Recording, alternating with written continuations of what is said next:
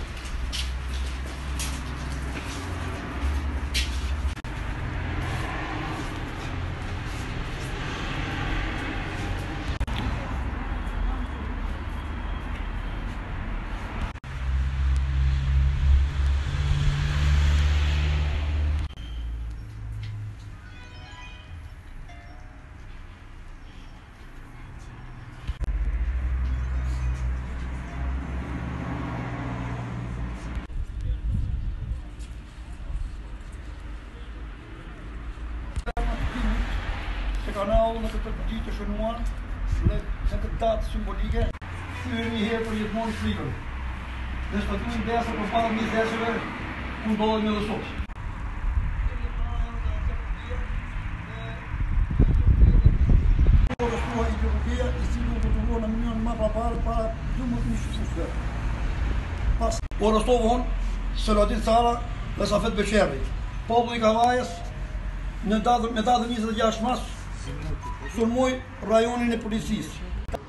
Falenderoj nga zemra të gjithë miqtë që kanë ardhur në këtë ditë të shënuar dhe në këtë datë simbolike e cila me njëzet e pesë mars të vitit një mijë e nëntëqind e nëntëdhjetë populli i Kavajës shpërtheu fuqishëm mbi diktaturën e egër komuniste. Pikërisht në këtë datë, djemtë e Kavajës thyën një herë përgjithmonë frikën. Në stadiumin Besa përballë njëzësheve, ku ndodhemi edhe sot. Në këtë ndeshje, qytetarët e Kavajës e mbushën stadiumin si asnjëherë tjetër.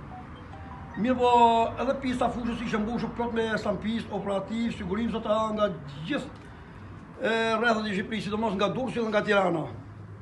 Thirrjet e para erdhën nga Xhep Rrugeja dhe nga Ilir Rrugeja dhe disa të rinj të tjerë. Fjalët e Enver Hitler, liri demokraci, poshtë diktatura e tmerruan diktaturën e egër komuniste. Në ato çaste, u bo një përleshje trup më trup, midis sampistëve dhe të rinjve të Kavajës. Aty u arrestua Ilir Rrugeja, i cili u torturua në mënyrën ma barbare para 12.000 shikuesve. Pas kësaj date, me 26 mars, U arrestuan dhe disa të rinj të tjerë. U arrestuan Selaodin Cara dhe Safet Beqerri. Populli i Kavajës në datën me datën 26 mars sulmoi rajonin e policisë me thirrjet e fuqishme, lironi shokët tanë. Rroftë Ramiz Alia poshtë dinastia e fjalë të tjera kundër Nexhmije Hoxhës. Kavaja pas kësaj demostrate me 29 mars të vitit 1990 U mblodh si një trup i vetëm tek familja Gani Rrugejës, ku dy djemtë e tij ishin në gjendje kritike për jetën. Ilirit i kishte ardhur vdekja, Rexhepi mbahej nën kurimin e mjekëve në një nga dhomat e degës të Durrësit. Pas 29 marsit, populli i Kavajës vazhdoi të protestonte çdo ditë në rrugët e qytetit me thirrjet e fuqishme Enver Hitler, liri demokraci e duam Shqipërinë si gjithë Europa. Në dy akset e, e nacionale të rrugës nga ana e jugut dhe nga ana e veriut, populli i Kavajës jepte mesazhin e lirisë qytetarëve të Shqipërisë se komunizmi në Shqipëri në Kavajë nuk ekziston më. Por këtë mesazh qytetarët e Kavajës e jepnin edhe tek stacioni i trenit ku ndalonin dy trenët, duke i lënë pasagjerëve mesazhin e lirisë. Pas këtyre demonstratave, me 10 korrik të vitit 1990, me përleshjen me sampistët, ra heroikisht djali i Kavajës, Josip Budo, i cili u vra nga dora gjakatare e sampistëve. Me njëmbëdhjetë korrik varrimi i tij ishte një nga varrimet më madhështore në Shqipëri. Unë tani do të ndalem pikërisht tek dy datat që kemi neve në Kavaj. Kemi 25 marsin dhe datën 26 mars. Do t'i thoja shqiptarëve dhe qytetarëve të Kavajës se politika e korruptuar ka bërë ndryshimin e historisë, e ka deformuar historinë. Kur kemi një demonstratë të fuqishme me 25 mars të vitit 1990, përse duhet të kalojmë tek data 26 mars? A nuk është kjo një deformim i kësaj historie, unë gjithmonë kam thonë që politika shqiptare ka deformuar jo vetëm historinë e qytetit të Kavajës, por edhe historinë tonë shqiptare në përgjithësi.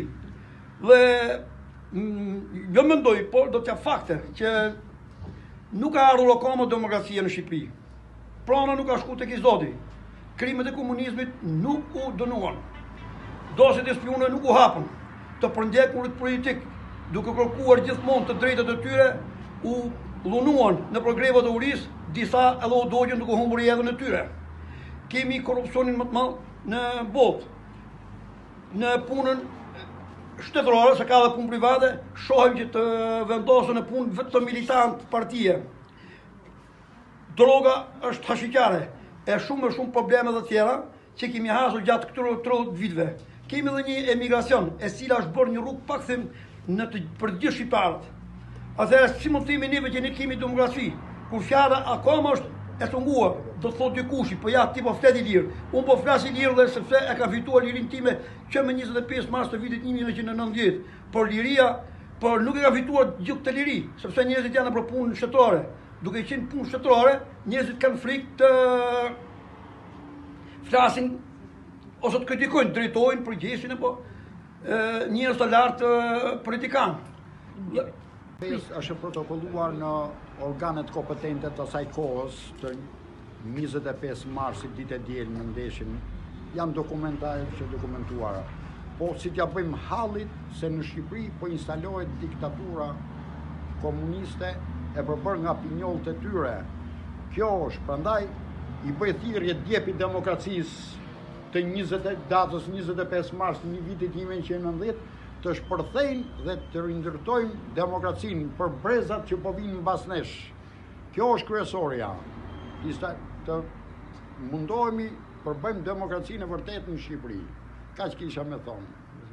Përse demokracinë e vërtetë? Sepse deri tashi nuk kena parë demokraci, po një tranzicion të hidhur në Shqipëri, e cila ka ndërtuar palë-palë me biznese, me emigrime, me të gjitha llojet e gjërave. Të vërtetët, realët, të djathtët shqiptarë, ish-pronarët dhe ish-të burgosurit politikë nuk kanë përfituar asgjë deri në ditën e sotshme. Jena të indinjuar nga faktorët politikë të tridhjetë-vjeçarit.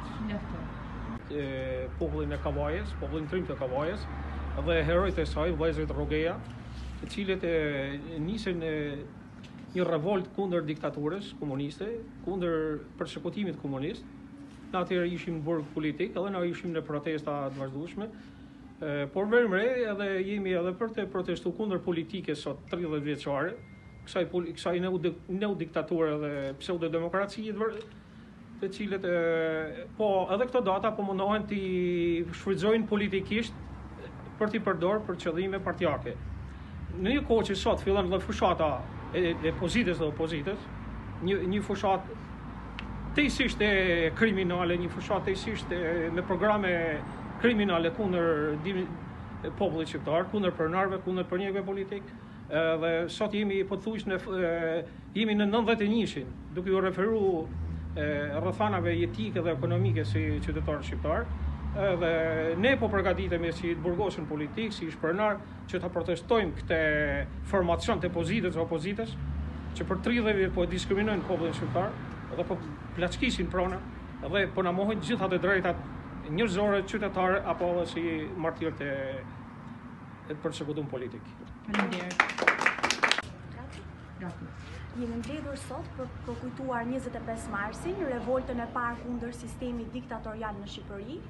Do t'u bëja thirrje të gjithë qytetarëve të protestonin pa parti politike, sepse kemi 3 dekada tranzicion. Edhe sa dekada të tjera do të qëndrojmë në tranzicion. Faleminderit.